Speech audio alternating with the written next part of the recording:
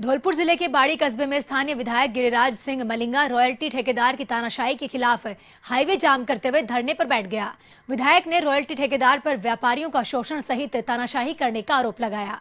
विधायक ने बताया कि इस मामले को लेकर पूर्व में कलेक्टर व खनिज विभाग के अधिकारियों को अवगत करवाया जा चुका है। लेकिन आज तक इस समस्या का कोई समाधान नहीं हुआ। और वहीं देर रात तक शुरू हुआ विधायक का धरना। रात दो बजे समाप्त हुआ, जब खनिज विभाग के उच्च अधिकारियों ने मौके पर पहुंचकर आरोपी ठेकेदार के खिलाफ मामला दर्ज करवाने का आश्वासन उन्हें दिया।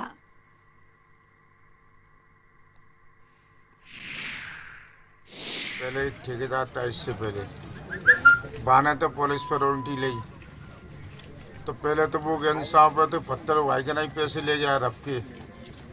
अब टीपी हो गई अब टीपी के पैसे जे मांग रहा है, जे कह रहा है कि मुझे टीपी पे भी पैसे चाहिए मुझे उस रब्बा वाले से क्या लेना देना।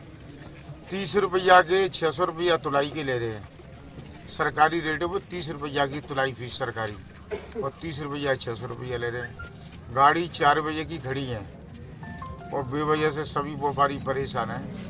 अभी तक जिनके सब सारे कागज़ इनके पास रखे हैं, और उसके बावजूद भी जिन- देश और दुनिया की हर छोटी बड़ी खबर के लिए सब्सक्राइब करें एवन टीवी न्यूज़ साथ ही बेल आइकन को प्रेस करें ताकि आप पा सकें ताज़ा खबरों की नोटिफिकेशन